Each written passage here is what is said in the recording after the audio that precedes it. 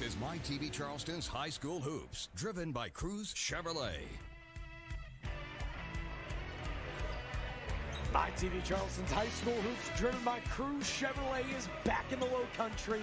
And ladies and gentlemen, we got a good one tonight. It's the Goose Creek Gators and the Summerville Green Wave.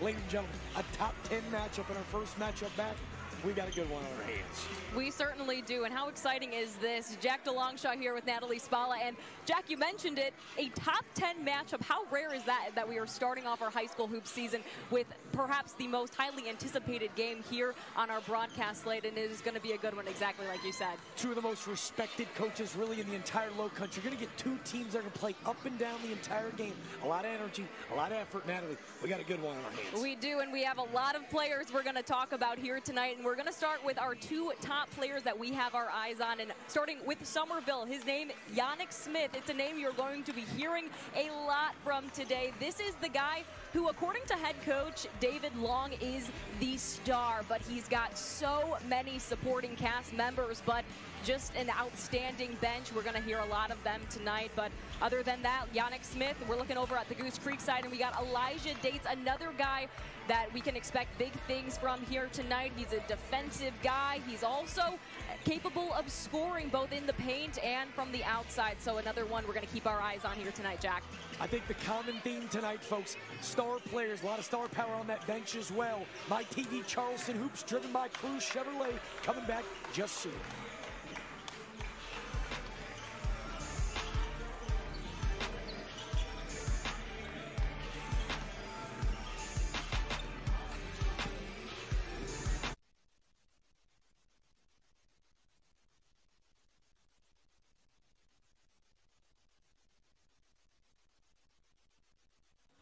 It was perfect.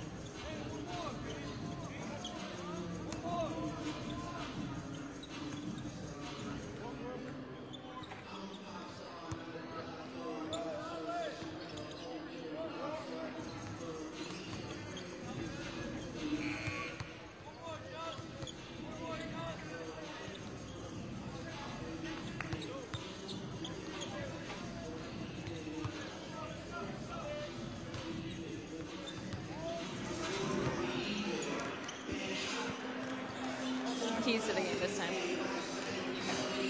Welcome back, folks, as we're live from Goose Creek High School. It's the, Go it's the Goose Creek Gators and the Summerville Green Wave. Jack DeLongchamp sitting alongside Natalie Spalla. We've got one heck of a ball game on our hands, folks. A top 10 matchup. Goose Creek, number two in the state of South Carolina. But Summerville Green Wave, a lot of experience over on that sidelines as we see Coach David Long getting their guys ready to go. Number six in the state of South Carolina. Natalie, what do we expect to see out of both uh, sidelines today? Well, I think what's so interesting about this one is that they are pretty similar in terms of what they really want their strategy to be, what they bring to the floor. These are two teams that have ample, ample athletic guys that are capable of taking a game into their hands and really making it their own. So we're going to see who takes control first. These first few minutes of this one, Jack, are going to be so important. Absolutely. As we see Coach Long on the sideline getting his guys ready to go. 11th season over at Summerville. He's a second career coach. Now you want to talk about one of the guys that's mostly respected in this area for building an unbelievable culture here at Goose Creek. That's the guy, Blake Hall, pioneering, captain of ship over at Goose Creek. Uh, spent a year over at North Charleston, won a state championship in his first season now. How he's rare. In his 12, he's been here since 2012. He's got an unbelievable record. But what he's really admired for is the culture, the team-based, oriented role that he's created over at Goose Creek. We got a really fun matchup. Checkers, not chess. These guys are gonna have a lot of fun on the sidelines tonight. Exactly. We're going to talk about these head coaches more throughout the night, but you mentioned his first state championship, his only state championship is Blake Hall in his first year at North Charleston. And he said to us it was a blessing in disguise that he had won that championship in his first coaching year as a head coach. And he said it really put things into perspective that this is not about trophies, this is not about championships, this is about developing players into people and people who are they're going to be far down the road when they're no longer on this basketball court, Jack. Perfect. As we head back over to the Summerville lineup, we're going to see the starting five tonight for Summerville. Starting in that forward position, number 15, Jay Chisholm. He's the senior, 6'3", 180. The kid can absolutely fly. He's a human highlight reel. At guard, you're going to see number two, Mike Jenkins. Coach Long told us there's a lot of names in that lineup. Mike Jenkins is the glue guy, captain, leader. You're going to see Melvin Teal playing the guard position, Yannick Smith, the superstar we mentioned in the players we watch, and then Yazir Smith starting at center, second career start for big fella. And as we see Goose Creek on the other sidelines, Goose Creek, eight, nine seniors have been here since their sixth grade year, and in this lineup you're going to see a lot of them. Starting at guard, number four, Elijah Bates. He's a 6'2 senior. Again, sixth grade he's been in this program. Learned a lot. Dante Taylor, maybe one of the more athletic players in the state of South Carolina. Coach Hall says he's receiving some Division III offers, but maybe the best lateral athlete he's seen. The freshman, number 11, Jaquel Brown, is the point guard. He's a really special talent. We're going to talk a lot about him tonight. Number 24, Shane Potts, the shooting guard. That's got absolute bouncy ability at the two-guard position. And then rounding out the lineup for the Goose Creek Gators, it's going to be Hezekiah Smith, the big fella, really anchoring things down low as you see him. Look at him, 6'4", the junior. I'm telling you right now, you don't think the football field isn't beckoning for the big fella. He's got a lot of touchdown low. You're going to see a lot of Hezekiah Smith in the paint tonight. I'm excited, Jack. Now, we, we just went over, of course, the starting five for both teams, but get used to seeing eight, nine, ten guys come off that bench here tonight. So they're going to keep things interesting for us, for sure. And I'm telling you, there's a lot of talent. Nine seniors on this team, but as you see Jaquel Brown checking in, he's a freshman. But I'm telling you right now, for those who haven't seen the young man play yet, he does not play like a freshman.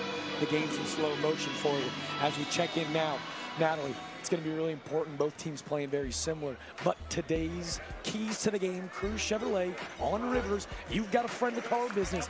Natalie, so take a look for both teams' keys to success tonight.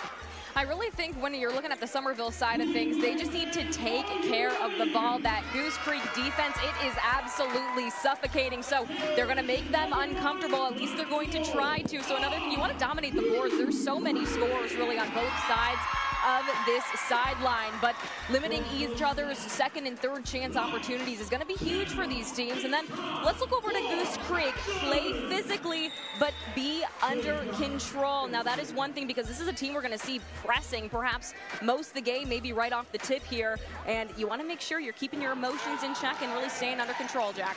Absolutely. As we again see these teams getting off to a hot start. Shane Potts picks the pass. I'm telling you, the kid can really fly, but he does come down. He's going to travel almost immediately. But in those keys of the game, you mentioned Natalie. Someone who's going to dominate the boards. This is, again, one of the, I think maybe one of the most athletic teams in the state of South Carolina. As you see a dump-in pass, it's going to be picked off by Dante Taylor. But a lot of football guys in this Green Wave offense. They've got five guys now averaging more than five rebounds a game. That's unheard of at the South Carolina high school level. This is going to be really key to watch them dominate the glasses. We see the point guard already on the glass. Melvin Teal goes coast to coast to start the game.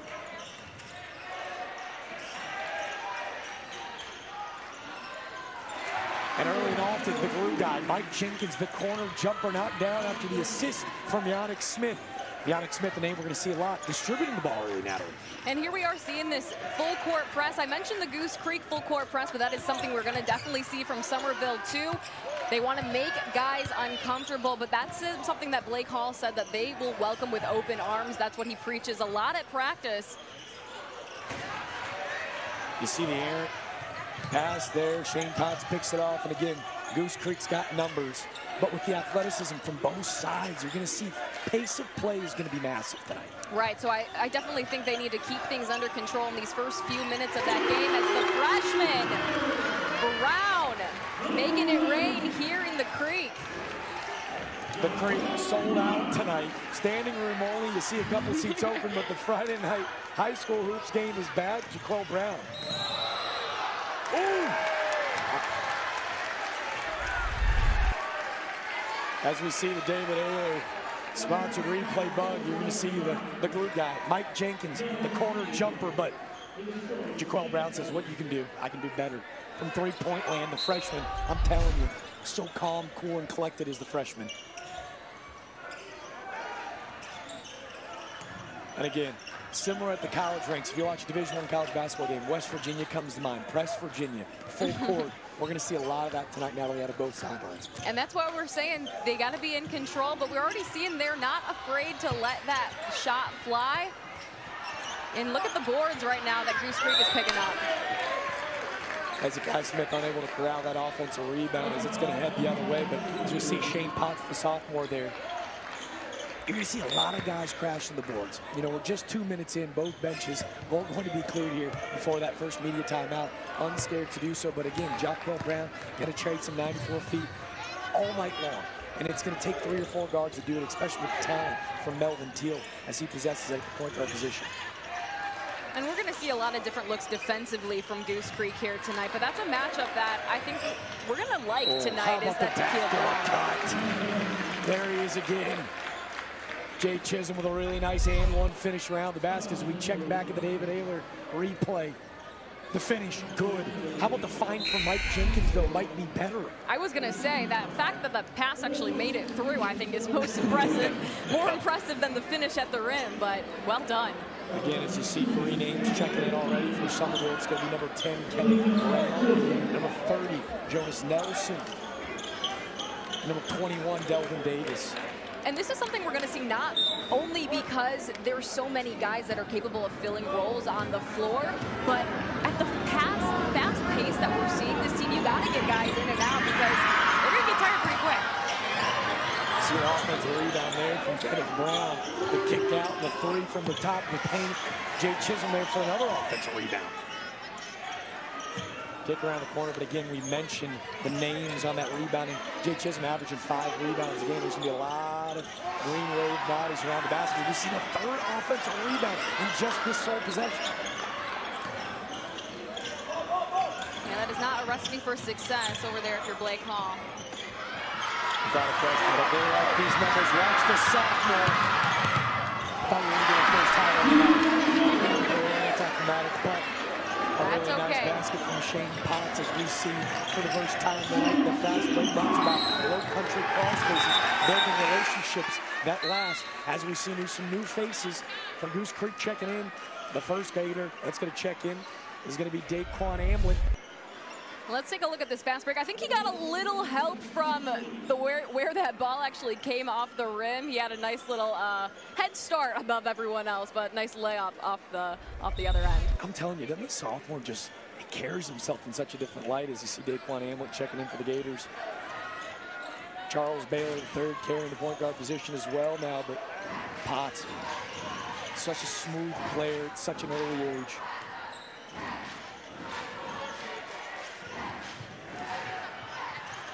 Just trying to force it there. Samuel sits back in the zone. The fast break pass. What a find. Unable to keep it down as Kenneth Jr. kicks it out of bounds. But again, you can see already another line change for Summerville. A fresh five. Yeah, this, these are teams that want to get out and go, and you, you saw it right there. You're coming away with the turnover, push it down court. Little mishandle with the ball, but you're going to be seeing that a lot tonight. Just that, that fast pace of speed and and they just want to get out and go. Absolutely. Lavarius Major checks in for the Gators. You know, we talked about it, especially with the college basketball landscape the way it is today. A lot of transfer portal action. One of Coach Hall's, as that pass is deflected out of bounds by Charles Baylor, third. What Coach Hall might be most excited about this team. Again, nine seniors, eight of which he's had since sixth grade. He mentioned to us in our interview earlier this week that loyalty doesn't lie in place anymore, but with people. He's gotten this group to trust him. As we see another Gator checking in, that's going to be Sam Crabtree defending the on ball. There's a lot of faces. Nine of those seniors. The leader of this team, though, Elijah Dates. As we see him walking back up the floor. A skilled, skilled shooter that you mentioned our players to watch, Natalie.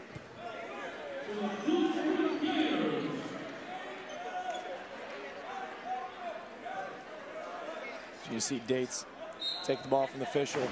Got to imagine the Gators have something drawn up here to free him up.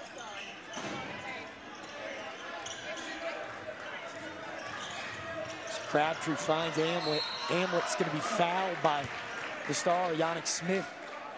Seen a different look. Obviously, Summerville's a team that loves to get up and down like we've talked about. Full court press. They've been sitting back in this 1-3-1 zone as we've seen from the Daily Air replay. That was wrong. I think that foul is going to be charged number five, Melvin Teal. And again, a good find. Summerville slowed them down in these last few possessions. So Goose Creek really taking the time to just slow their game down, pick apart that defense. It doesn't have to be run and gun all the time. And the most mature teams are the ones, or at least according to both of these head coaches we spoke to earlier, are the ones that are able to keep playing their game. I mean, both of these teams, they're making it their goal to make the other uncomfortable. So whoever can stick with that game plan the best and most consistently is the one who's perhaps going to walk away with a win today here, Jack. Absolutely. As we saw on the other end, Daquan Amlet knocking down both free throws from the charity stripe. Those free throws are brought to you by Will Gray Opportunity School, a rich tradition of individual learning as we see some unbelievable passing on the other end. And Yannick Smith able to capitalize. Corner pocket three ball from the junior. How about it? Wow. Sometimes the best defense turns as their offense as Jay Chisholm's heading back to the free throw line. I think it's obviously his ability to get up and play above the rim, but his second chance efforts. Oh, yes. Get up and down, back up off the floor the second time. Jay Chisholm, special athlete. Yeah, he's a guy that doesn't quit, whether it's offense, defense. If the ball's in his hand, he's going to do something well with it, and he's getting perhaps two free ones out of this. As you see again, head back to the charity stripe for the Wil Lou Gray Opportunity School free throw. A rich tradition of individualized learning as we see Dave, uh, excuse me, Jaquel Brown checking back in. What better guy to turn to than the freshman? Press giving Goose Creek some troubles here early. He'll slow things down.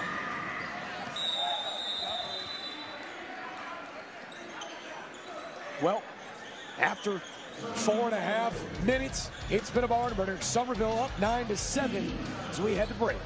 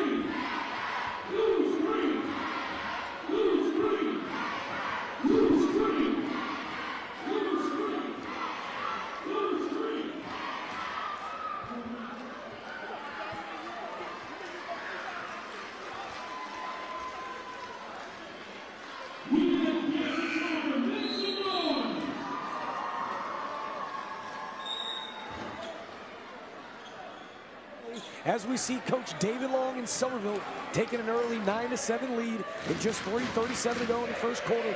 Jack DeLongchamp here, joined by partner Natalie Smile. Natalie, A lot up and down. A lot of talent here on this court early and often tonight here in Goose Creek, South Carolina. I think more or less what we expected from the jump is that we have already seen lots of guys get minutes in this game, and that is going to be exactly what the what the case is moving forward, Jack. But in terms of the pace of play, also kind of what we were expecting to see from both of these teams who are run and gun type teams. They want to get you get you going and really score often and early.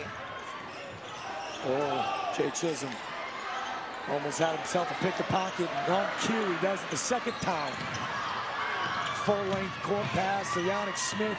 He's got the one-on-one -on -one matchup that he's going to look for all night, but solid defense from Daquan Hamlet as Elijah Dates going to look to slow things down on the other end for the Gators. No points there for the Green Wave, but you got to acknowledge the, how quick they get up. They get the rebound. Their eyes are looking at the opposite end of the court as we see it right here. Yannick Smith, the easy, easy layup off the other end, but he's getting some help from his teammate. And that's what I that's what we're expecting, and that's what we're seeing here today, Jack, is they their eyes up all the time. I think the top level of their existence as Lavarius Major. Then I'm down three in the sweep pass from Jaquel Brown. Great court vision from the freshman point guard. I did. I think you talked that one to existence, though. Daquan Hamlet picks a pocket. We're going to get our jump, first jump ball, and that is it's heading the other way. But that fast break brought to you by Low Country Crawl Places. David A. Laws takes back to the instant replay. Calm, cool, corner pocket three from Lavarius Major. Wants the people to hear about it. And good idea by Brown. He It looked like he had that dribble penetration going into the paint. Kicked the ball out. Defender collapsed a little bit, able to get that shot up. Smooth and pure. With just two to play, Summerville still takes 11-10 lead. You see both sidelines. Coaches, hands on the head. I think they're trying to catch the break as we are as well in the booth. I know, I got to take a breath. How about that? It's a grown man rebound from Delvin Davis. A 5'11 senior playing like a 6'11.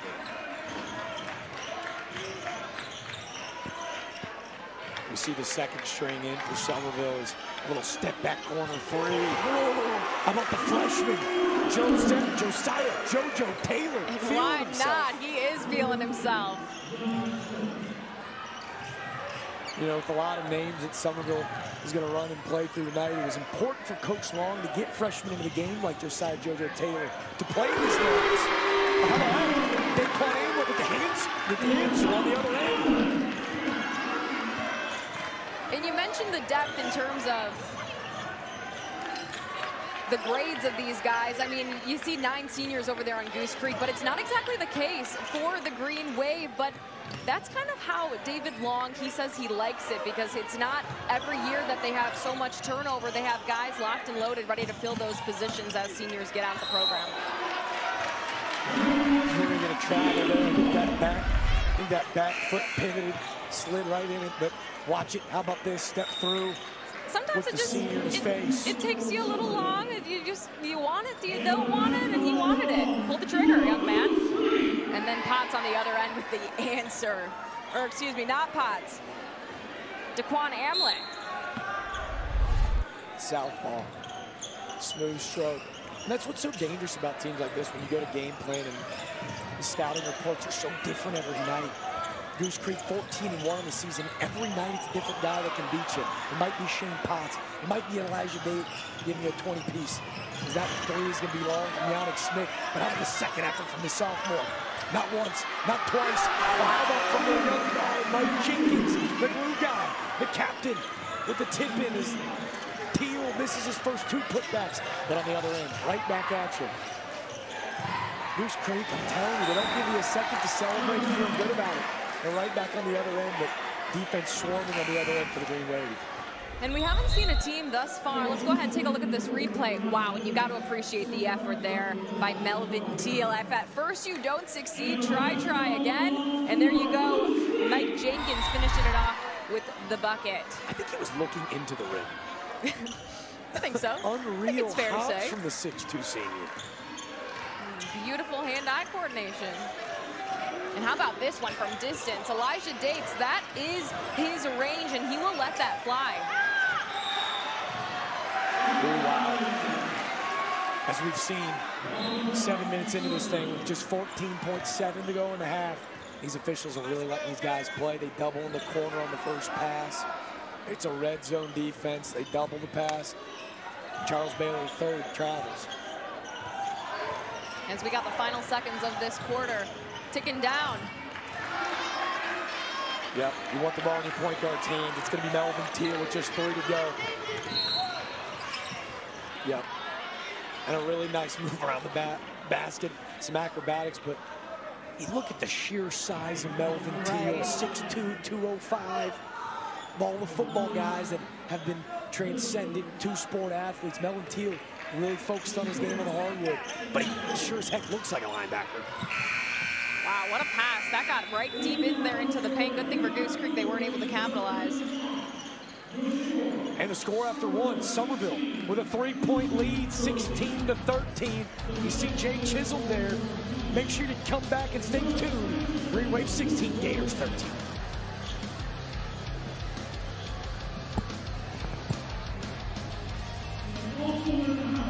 The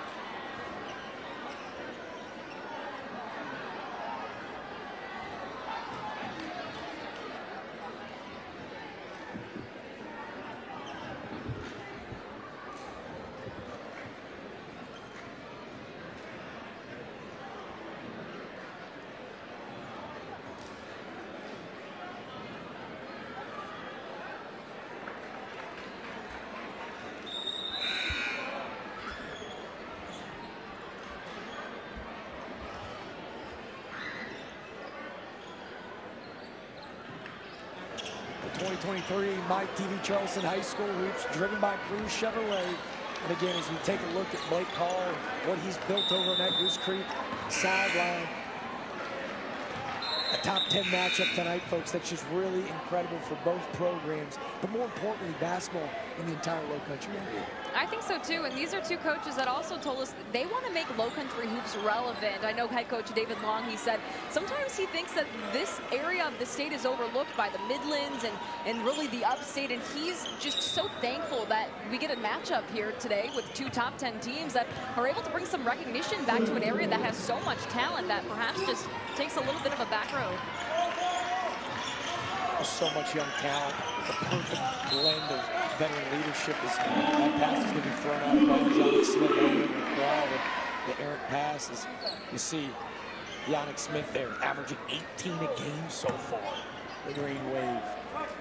Five boards a game. The two-time All-State wide receiver on the gridiron.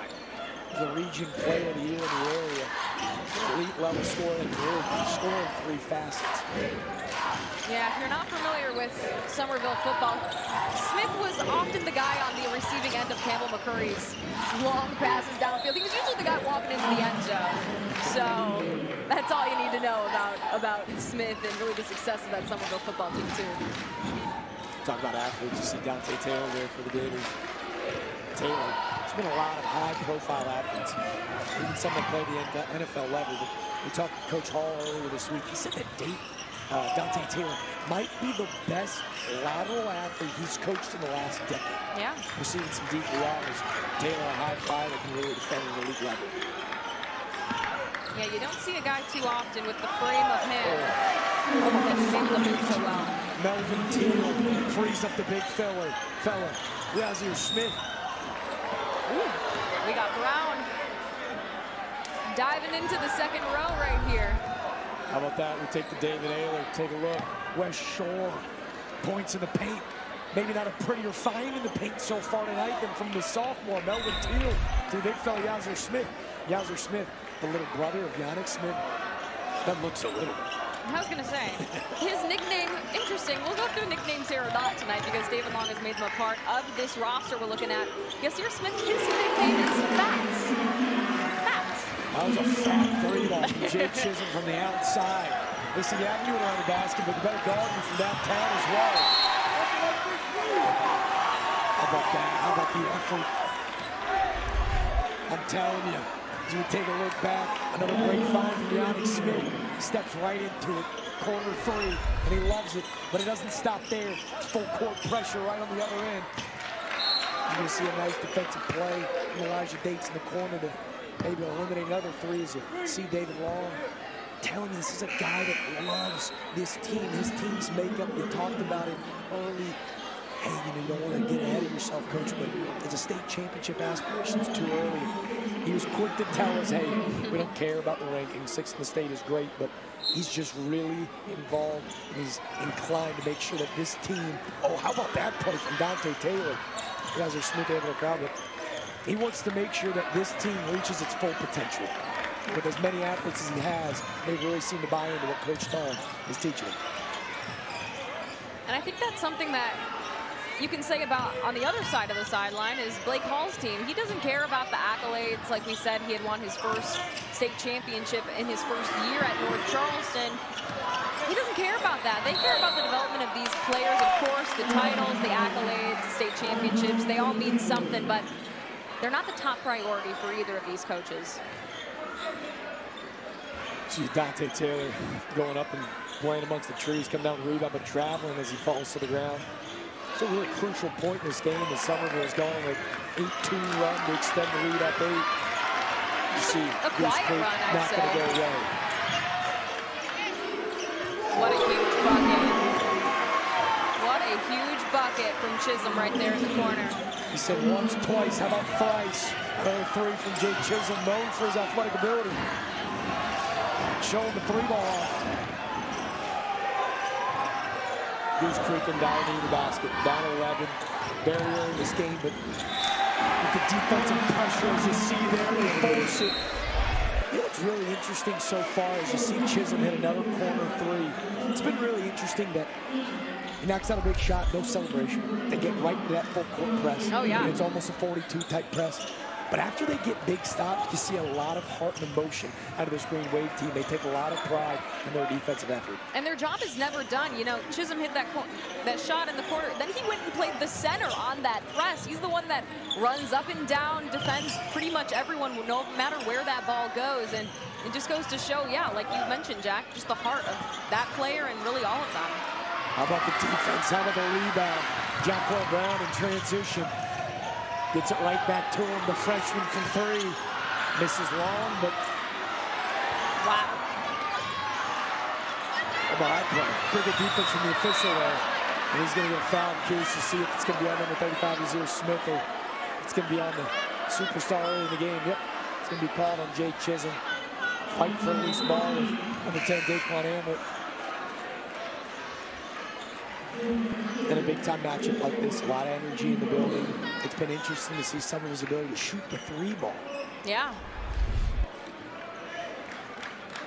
And you mentioned it, Jack. The guy's been all over the place, Jay Chisholm. Let's go and look at just the few shots we've seen so far from him. Really hitting it in all areas of the perimeter. You see him out there on the wing, in the corner.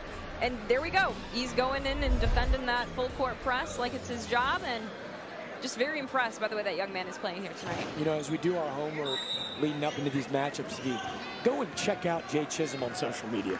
It is an absolute treat. He's a high flyer, alley dunks, but the ability to shoot three ball is not something that we discovered in our studies this week, but Chisholm averaging 13 on the year. He's one of the sole starters in this lineup that hasn't made an all-region team. Well, he is well on his way with his performance so far in their last non-conference matchup. See the double. Shane Potts unable to handle the pressure. It's going to be a backcourt violation. I think Coach Long so far in this game has thrown a lot of defensive schematic looks towards Goose Creek's way that they haven't really been able to handle. They obviously have the athleticism play man, but you've seen them drop back in that 1-3-1 cause a lot of problems tonight, Adam. I think so too, and it doesn't really matter so far what look they do throw at this Goose Creek team. They are going to be in your face with that pressure, suffocating like we had mentioned earlier. Suffocating like right there exactly. as you see Brandon Burgess, the 5'8 senior, unable to handle it. With just 3.59 to play, Summerville leads 24 to 13.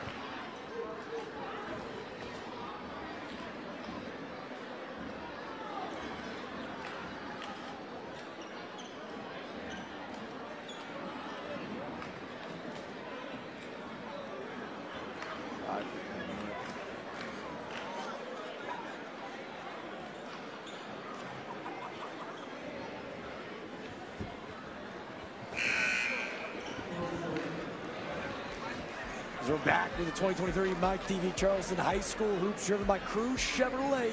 We want to give a huge special shout out to all of our sponsors throughout tonight's broadcast. An absolute pleasure to be able to do work alongside them as they're able to make these players' dreams come true. To be able to play on TV in front of friends and family. But tonight, points in the paint brought to you by West Shore Home, America's most admired home remodel and brand. We talk about a lot of these sponsors tonight, Natalie. Truly is incredible what they're able to allow these coaches, these players, the opportunity to play on TV in front of a lot of people that might not otherwise get to see them play. I was going to say, in front of a great atmosphere here in the Creek. I know this is a rivalry game. You expect a big crowd, but they're extra loud here tonight from the Creek of Goose Creek. You see the pressure cause some problems again. You see Brandon Burgess checking in. He's a sweet left-handed shooter for the Gators making a mistake that we'd like to forget here soon.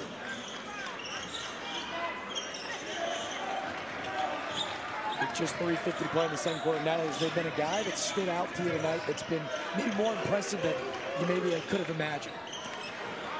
I mean, so far, I would say the shooter we've seen, and what a bucket that is. Okay, Melvin Teal with the physicality, able to finish that shot. And Jack, I don't know. I was just about to say, you know, the guy who's been shooting it very well all night. But, you know, Melvin Teal's making a making a name for himself here today. It's going to be hard to pick our player of the game, but... Still early for that. But for Still me, it's early. been this guy. As we take a look at that old replay by Crews Chevrolet on Rivers, you get a friend of the car business. It's been Melvin Teal. I'm telling you right now, you look at the numbers off the paper, but 6'2", 205 for a sophomore is unheard of. But he plays the game for a sophomore as he heads to the charity strike to knock down his third at free throw brought to you by Holy City Heating and Air. We provide solutions for every season as Melvin Teal is able to convert the old school three-point play. I'm telling you right now, for a sophomore, it almost seems unfair to be that size, see the game in slow motion. For me, he's been unbelievable to watch. I think so, too. And that was one thing that David Long had Uh-oh. told us. Watch but let's see. flyer. Oh, smart business decision. Elijah Bates make sure the ball doesn't leave the hand. A really smart, savvy play from the senior to not let Chisholm get up off the ground because if he did, it was going to be a problem. Let's see. You can see he was getting ready for liftoff. And Bates, smart play from the senior to make sure he wasn't getting easy too. Pretty sure this place would have erupted if that one went down. And we are here in Goose Creek, but there's a lot of Summerville faithful here tonight to cheer on their guys. See Jay Chisholm heading to the line and knock down the Holy City heating and air free throw. I'm telling you, a healthy blend of athleticism and obviously a lot of time in the lab. These kids are absolutely skilled, but it's been their, their composure to handle a lot of pressure, big time game, unfazed by the moment. See Joel Cole Brown with the cross-court pass to Hamlet in the corner. But again, the pressure too much as Yannick Smith's uh going to have a fast break. It's takedown time. Yes, sir, he doesn't have a gridiron, but he's got special buddies brought to you by Low Country Crossface as Shane Potts is going to try to answer, but it's going to be another foul on Hezekiah Smith. That's a grown man rebound, but how about this one on the other end? Yannick Smith, one foot and take off. I'm telling you, Natalie, I think he was looking down into the I think so too. You definitely see he got up there. Also making uh, a name for him. We've been talking about Chisholm all night. You've been talking about Teal. He said, wait, I'm the star. Remember me? here I am. And he's demanding that attention here tonight. Summerville with just 2.55 left in the second quarter takes a commanding 31 to 13 lead. It'll be interesting as they head into halftime. If Goose Creek can just find a way to cut it to single digits as they head into halftime. Try to build some momentum. Is a really nice play in the passing lanes as Elijah Bates is able to pick one clean. You're right though, Yannick Smith. The accolades speak for themselves. A two-time All-Region player. He was All-State last year. All-Region player of the year in the Low Country last year. And again, how about Chisholm? Picks the pocket, and the finish on the other end. Goose Creek has had no answers for this press now with Chisholm and Smith and Teal at the front of that press.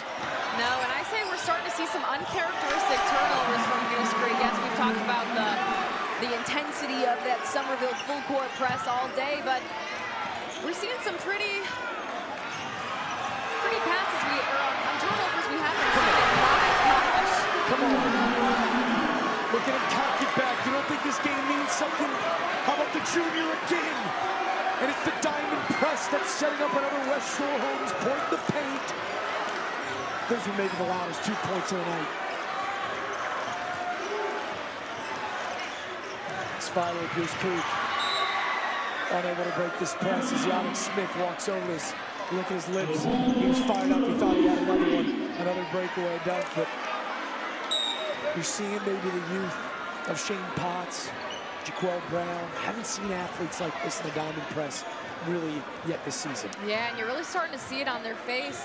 Gassed, I think, is a good word for it right now. And how can you not be with this this pressure that Summerville has not let up on at all? Yep. Yannick Smith knew it. He knew it almost immediately as he picks up his second foul and a reach-in call. But I think that's a foul that David Long is going to be okay with. He's going to see Yannick Smith again. Gosh. He's starting to feel himself a little bit, fair to say? I, I think I'd have to agree with you there. Seven first half points as Coach Blake Hall is going to call a timeout as you see Yannick Smith head back to the sidelines. His teammates fired up for him. I'm sure in practices, they're pretty prone to seeing that young man take off a flight. I think so too, and I'm just glad we all get to see it on full display here, Jack in front of a packed house here in Goose Creek and then, of course, on the airways. So I got a special shout out to you. mentioned the airways. You see the cameraman that just left the angle right there. It's Will Chitty. And Coach Long gave us really an entire full roster. You mentioned, you see a social media guy. In the world of technology and social media, Will Chitty has kind of revolutionized the way that teams tell their stories here in the low country you go take a look at some, Summerville's social media for yeah. all sports across the board. It really does look like a Division One sports page. I was just going to say, you compare it to the best of the best at the college level, not only even at the high school level. Really, I don't think we can compare it to anything here, or at least what we, we know to be really true here in the low country in terms of covering high school sports, but Summerville, they do it and they do it big and they do it right. It might seem trivial to those at home, like, what does social media have to do with basketball and really any athletics, but it matters to these kids. I'm not saying that you're going to recruit at the high school level. but Coach Long has been able to provide is a professional type environment for his guys to excel, excel and it really matters on all ends. But with just a minute 30 to play, down by 24 with just 13 first half points now. What do you need to see from the Gators to try to claw back in this game? You know, I think they just need a bucket. I think they're at the point where they just need some faith. How about Dante Taylor? And that is exactly what they need in this team. They are so capable of making this one a game. It's just had been several minutes without a bucket from this team. So hopefully they're able to play a hard, tough minute 13 right now. And it starts right there with rebounding. Absolutely. As we see Dante Taylor, those are two huge West Shore home points in the paint right there on the second effort. Look at all Big the Summerville bodies there in the paint, too. He wanted that rebound is Dante Taylor, the 6'4 senior, 185 pounds, a long, lean, strong forward. He's got a future at the next level to play basketball for a long time, but they're going to need a lot more of that to get back in this one. We see our head official, Greg Seymour, alongside assistant official, Cedric Weber, steps up to try to knock down the third free throw from the charity stripe from Holy City, hitting there, and he's able to do so to cut it to 21. Let's see if they can get a stop here as we have the clock tick down in this final minute. But again, Jack, you can see it on their faces. They're tired. Can't say I blame them, but tired, maybe a little bit surprised. It's a Goose Creek team that's 14 and 1 this season. That's played a very difficult out-of-conference schedule very capable of getting back in this game as you see KJ Brown with a nice save. Loose ball scrum. Going to be won by the young freshman, Jaquel Brown. Possession arrow in favor of the Gators, but I think they're almost taken aback by the athleticism, the speed, the length of that press from Summerville. You've heard Natalie and I mention a couple times tonight if you're listening at home, but Summerville running a diamond press. You're not going to see it here as with a 21-point lead before they go. They're going to sit back in that 131 they've ran, but that diamond press with a guy at the front, two in the middle, one in the back, then the center far end. The athletes that they're able to provide at the front of that defense truly is like a quarterback trying to dissect the defense on the gridiron. So for the likes of Elijah Dates, as a senior who's seen it all, been it all, Jaquel Brown has been a very very capable point guard that's impressed many. Maybe one of the better freshmen in the state. He's been unable to pick it up as Sam Crabtree, the senior, again, just trying to force a pass. You see Elijah Dates. Just let me know, hey, man, take what the defense gives you. And in this 1-3-1, it's a look that I bet they haven't seen before. Right. And I think that just goes to show that this Summerville team has made Goose Creek so uncomfortable. Those are passes or really turnovers we're not used to seeing from this Goose Creek team.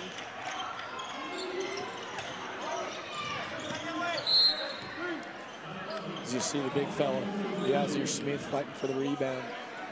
He's going to stay in possession of the green wave. But you mentioned being uncomfortable, Natalie. As we talked to Blake Hall, he's built such an incredible culture. If you know basketball in the low country, you know any game with the Goose Creek Gators is an uncomfortable matchup for any backcourt, right? He talked about what this team culture means. Embrace being uncomfortable. An incredible opportunity for growth occurs when you're uncomfortable. So down 21, head into the second half. This is the kind of test that his team, I bet, maybe needed. As we're going to see a little late ball scrum fighting for it between Daquan Hamlet and Melvin Teal. Love to see the fight down 21. Doesn't matter. Scoreboard doesn't matter.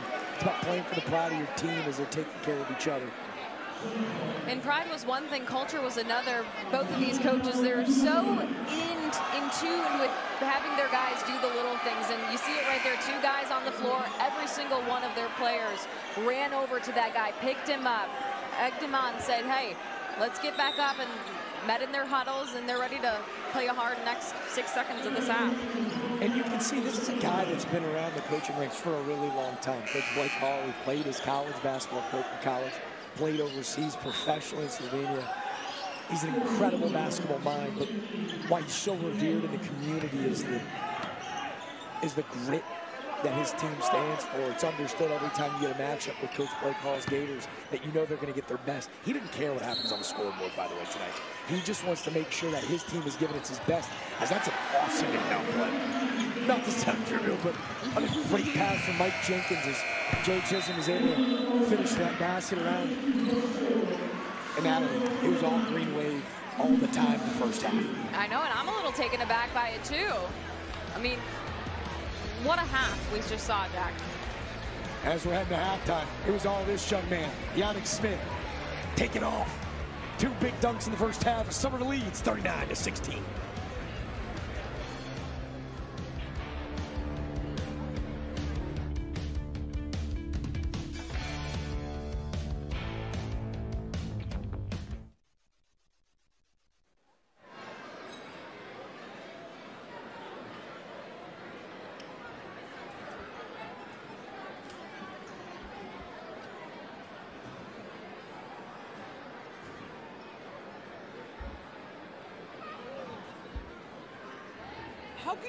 Somebody so much who made you look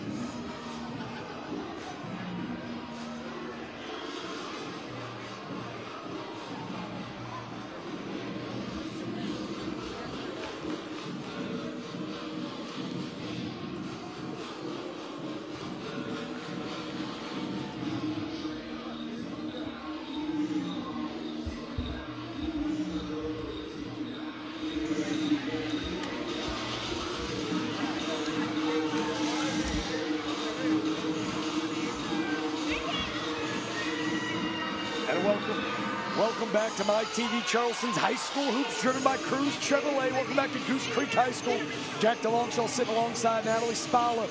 And in a top 10 matchup in the state of South Carolina in the first half, it was all Summerville Green Wave, 39 to 16 over Goose Creek, second-ranked Gators.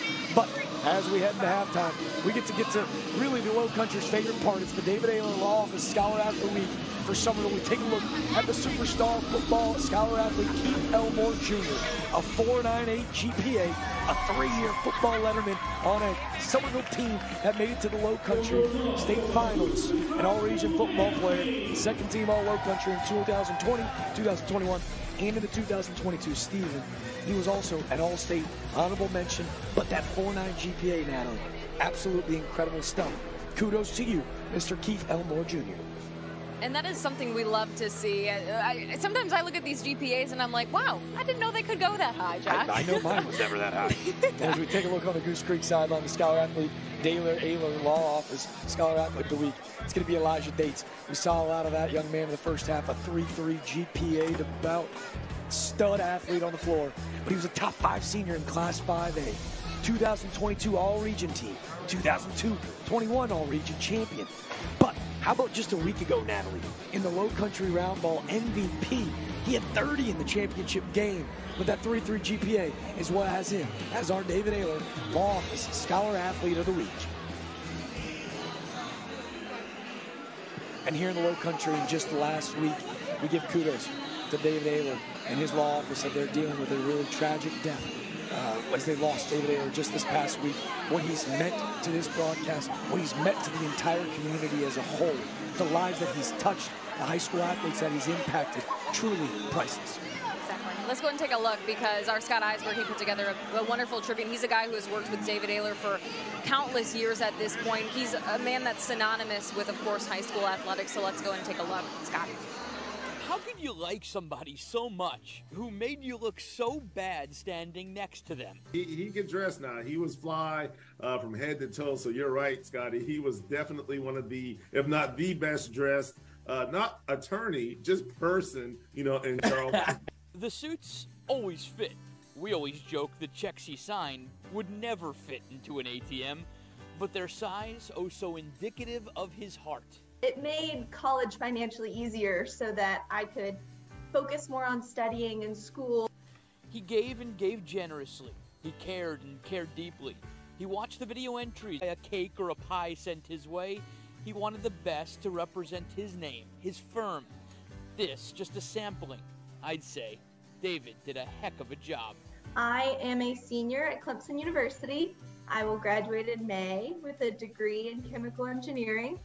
I already have a job lined up. At USC Upstate, my major is exercise science with a focus in occupational therapy. Study, I'm, I'm at South Carolina State University. Um, I'm studying in physical education. Just I'm just grateful that he chose me to uh, win that award. That that is just it's special.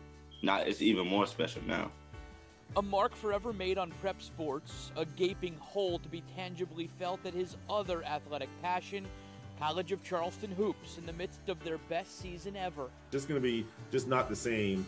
Uh, having that, feeling that little tap in the back of the head as he would always walk behind our, our broadcast booth. He would always come up where I was at the DJ booth in College of Charleston from his seats in the front every single game and make sure he said what's up. You know, he was that kind of guy that give you that tap on the Mm-hmm. Everybody is giving this man praise for his giving nature. If there's one way to be remembered, it's that way. David Aylor, the life of the party. That won't change. I, pretty much every single koozie in the Low Country had his uh, logo on it for sure. So um, you know, we got to find those ways to remember him, and and that's one of the uh, absolutely great way. You know, I get to put him on a, on a beer and be like, "Dang, David, I'm gonna have a beer with you today." Just help people who who uh, needed help, and you know, for that, I think he truly is going to be missed because he was just a great person that we all kind of had that relationship. Everybody felt like they were friends with David Aylor. I certainly was, and man, I'll miss looking oh so bad next to a pal who lived life oh so well.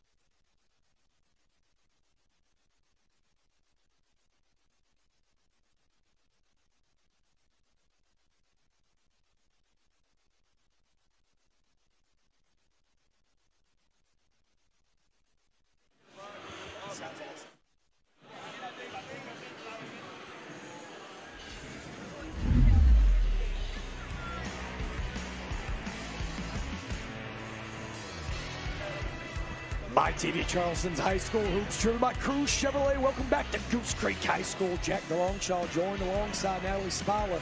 In that first half, it was all Summerville Green Wave 39, Goose Creek 16.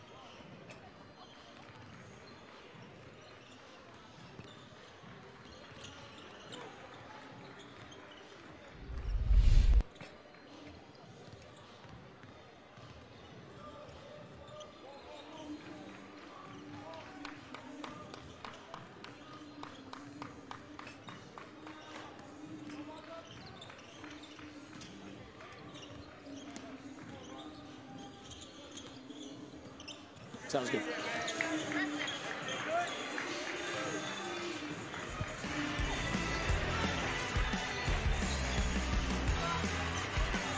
Welcome back to my TV Charleston's High School Hoops, driven by Crews Chevrolet. In that first half of this top 10 matchup, it was all green wave all the time, Natalie. Heading into that second half, what do you look to see as we take a look back at the first half highlights? Well, early and often points from both of these teams. Goose Creek kept it extremely close, down one, two, three points at one time, and they were really scoring from all aspects of the floor, inside, outside. But then, Jack, you mentioned it, Summerville Green Wave. Early and often, all the time, especially in that second quarter where they look at a pretty extensive lead as we head into this one. 39-16 lead, but you mentioned it, Natalie. Really eye-opening stuff. They held the Gators to just three points in the second quarter as we head to break.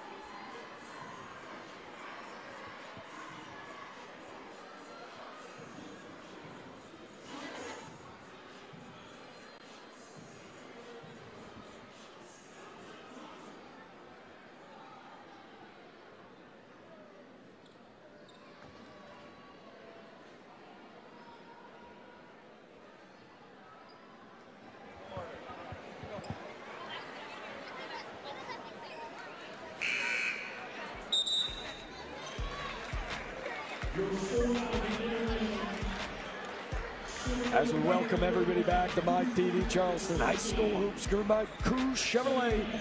Ladies and gentlemen, the scoreboard a little lopsided, but this is a top 10 matchup. And as you see Blake Hall sitting on Goose Creek sideline, everyone in Low Country in South Carolina knows this game is far from over because Natalie, we all know that Blake Hall is going to have his guys ready for a super competitive second half. I think so too. I think adjustments were definitely made at halftime. They had to be made at this rate, right, Jack? But Goose Creek is a team that will never let off the gas, so we're just going to see. And there you go.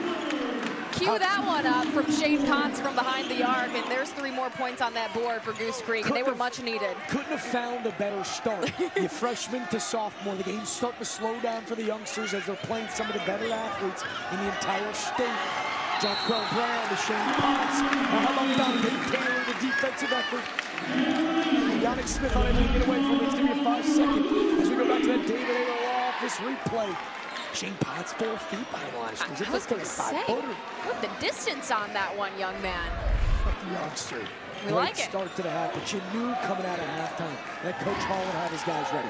Now, when we spoke to him earlier this week, he talked about the difference between players and competitors, and that's the culture that he's built here.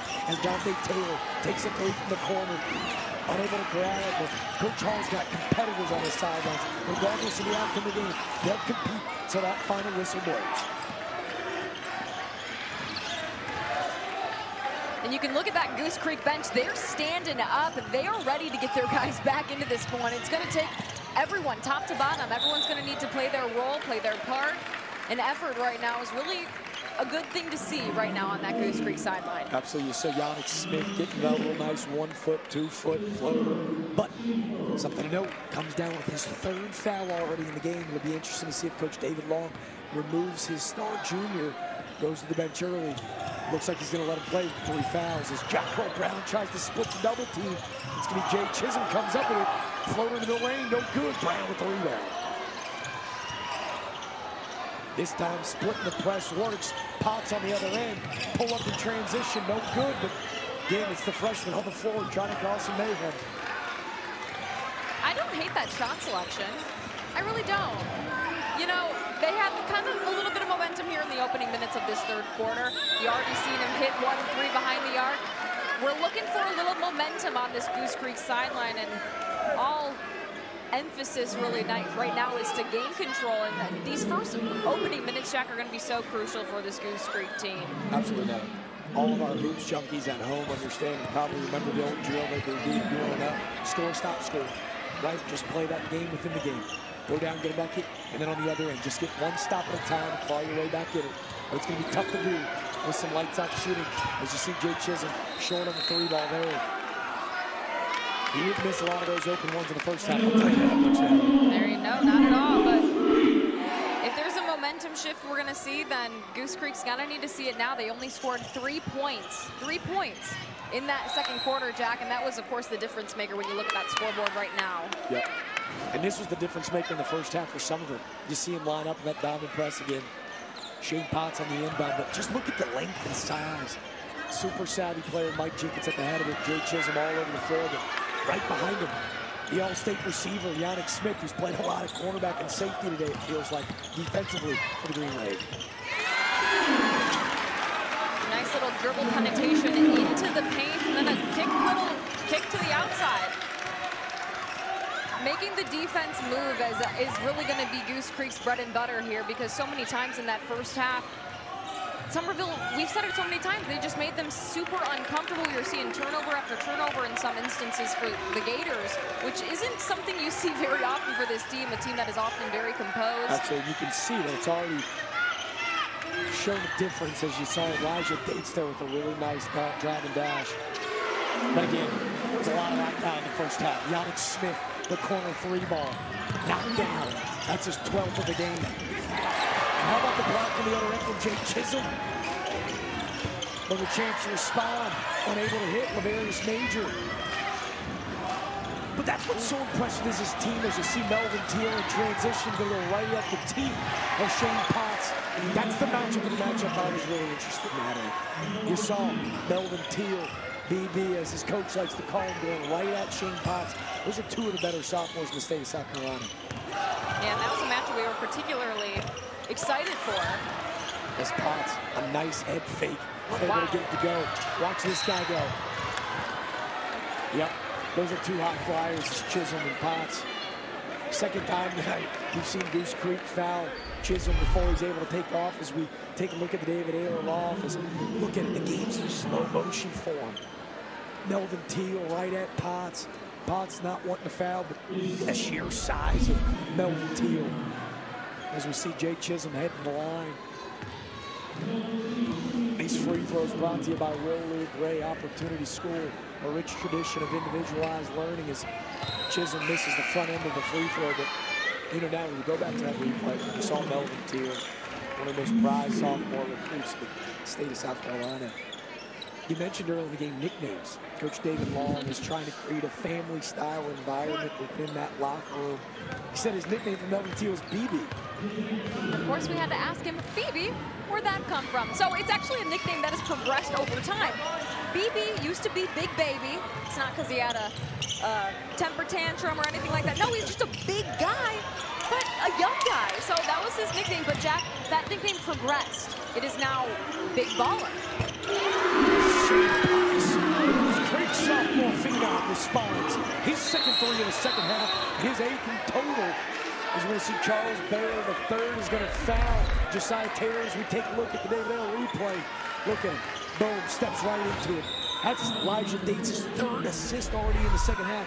Starting to see the game. The senior taking over, dishing out to the youngsters. Shane Potts makes some pay as they cut that lead back to 20. But now the people really need to hear the nickname. Big baby, the big baller. Big baller.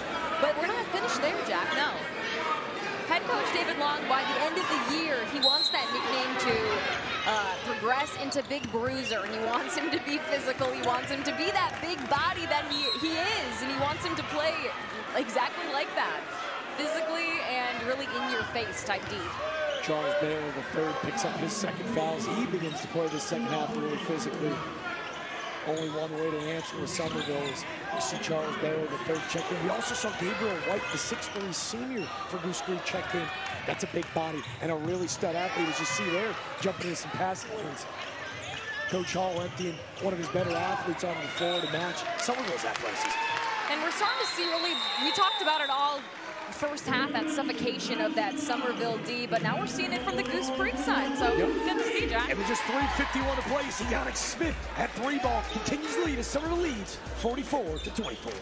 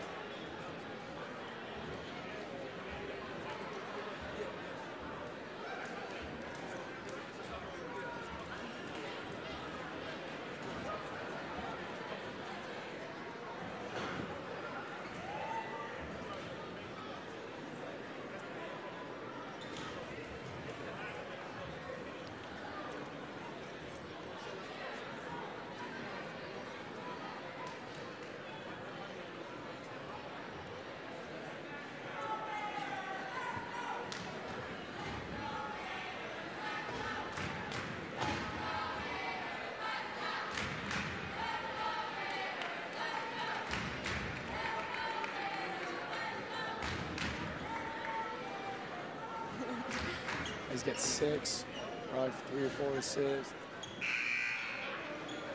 I like giving it to the guys. It's tough.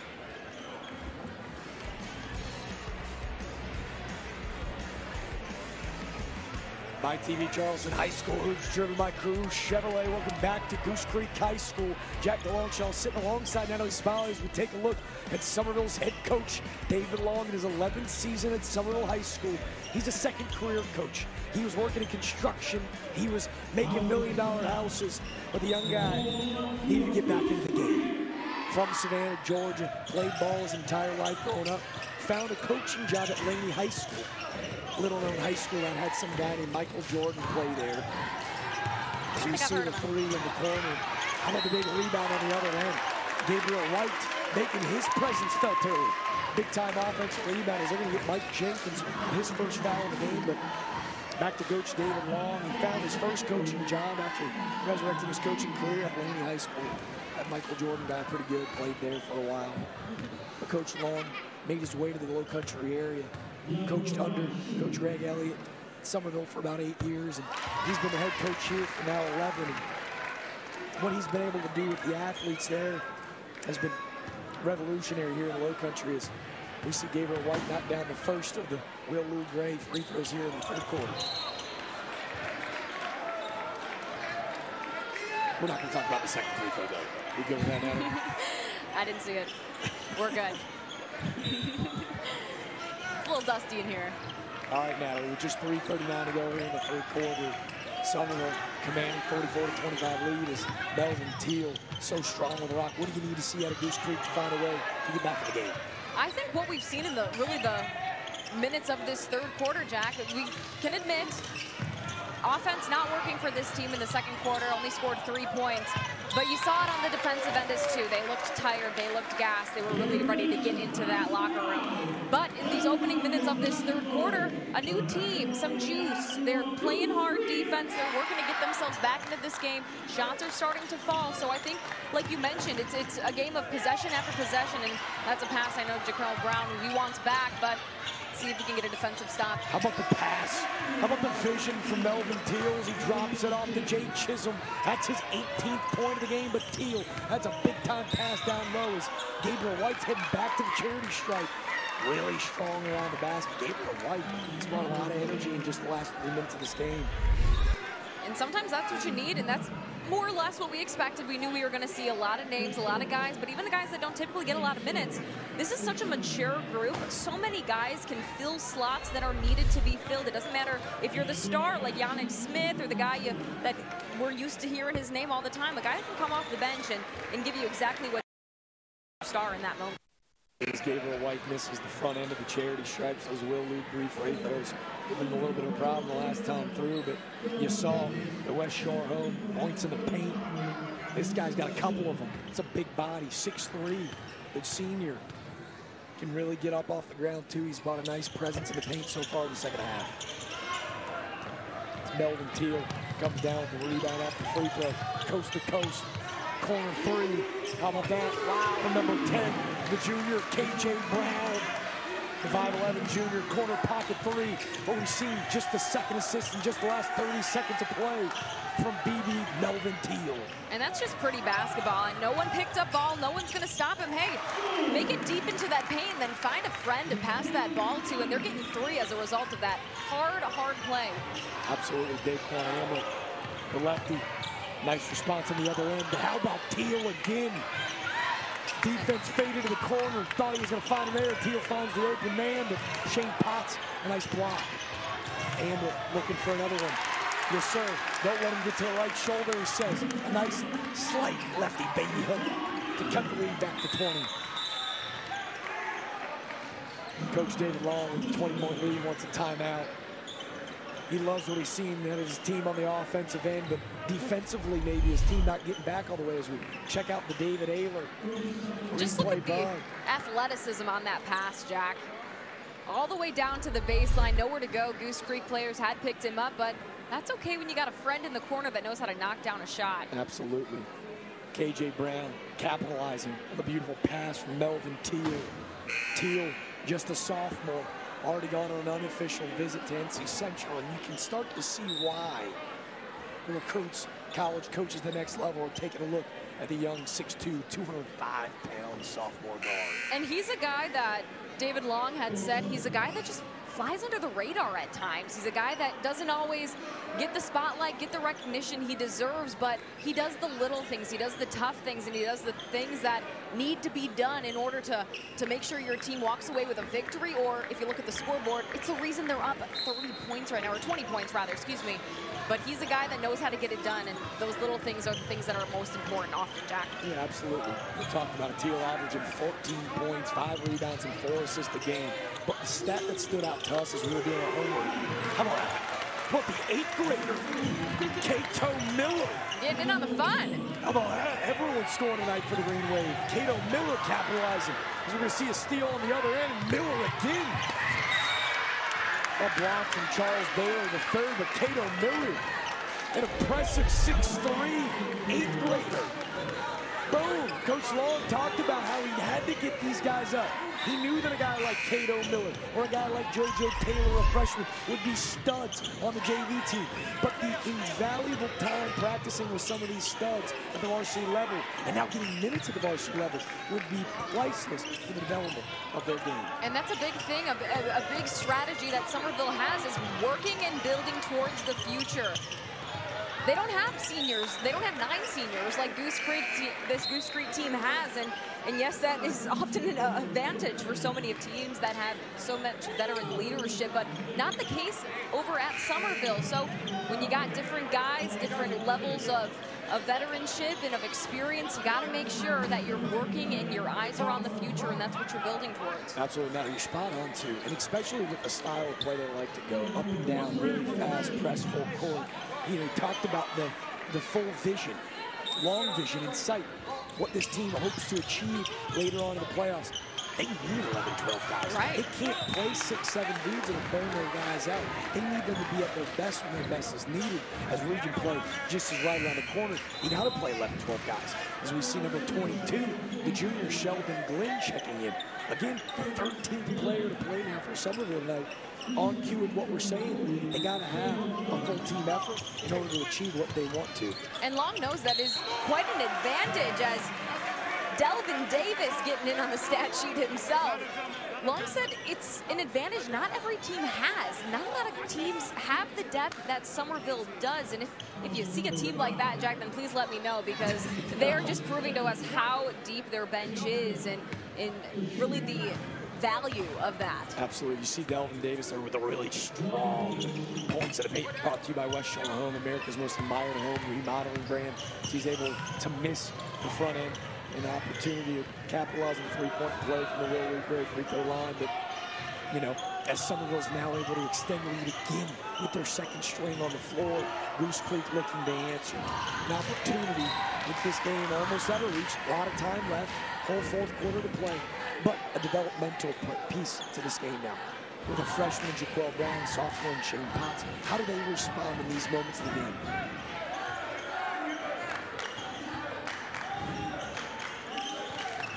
See Summerville sitting back in that 2-3 zone is giving Goose Creek a lot of problems. Jaquel Brown, nice dump off. It's going to be Dante Taylor. He's going to be fouled as he's going to head back to the Wil Lou Gray free throw line. And again, we see they've thrown a lot of different zones at him. You saw him sit that one-two or that excuse me, that one-three-one. That time the two-three, and Jaquel Brown just tries to force a pass. He's able, not able to squeeze it in.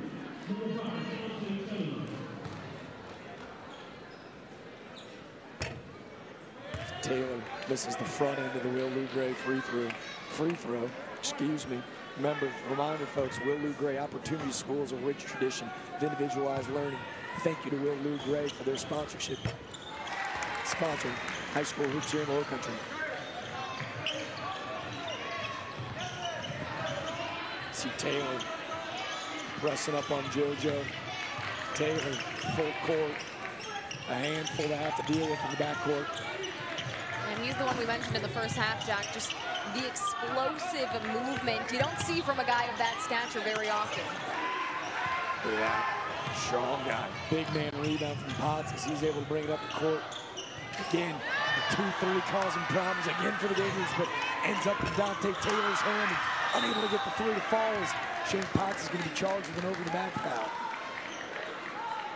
And hats off, you, you got to give Summerville the credit there. Doesn't matter where the ball is on what side of the court, that backside always ready. They've got active hands. They are ready to go and almost picked off that pass. Telling you, that zone look with just how streaky and long these Summerville defenders have been. So tough to deal with as Jaquel Brown says, no, sir, not at the end of the third quarter. As we're about to head and kick it to break, Summerville commanding 54 to 30 lead. Saw some Shane Potts early, but that Summerville bench just too deep here in high school hoops, driven by Crews Chevrolet.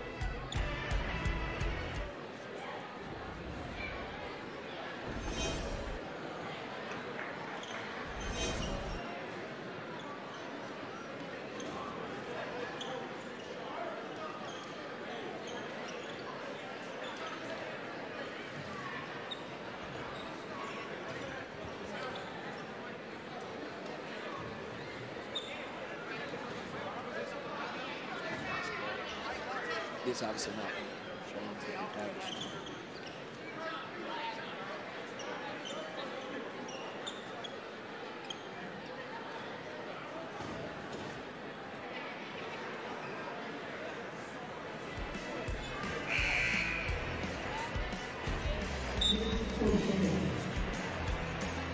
Welcome back to my TV Charleston's High School Hoops, driven by Crews Chevrolet here at Goose Creek High School. Jack DeLongshell sitting alongside Natalie Spalla. Now we take a look at Coach Blake Hall, one of the most well-respected coaches in really the entire state of South Carolina. know that his team is going to be ready to fight here in the fourth. Yeah, Hall's always calm, cool, collected, and that is exactly how he wants his guys to be at all times. He doesn't want emotions to to really take control of this when you look at the scoreboard, and that's something that, yeah, you get frustrated. You're down this much, and especially uncharted territory for this Goose Creek team, who has only lost one game this year, and by one point. So to be down this much, it's, it's new to them. How about that?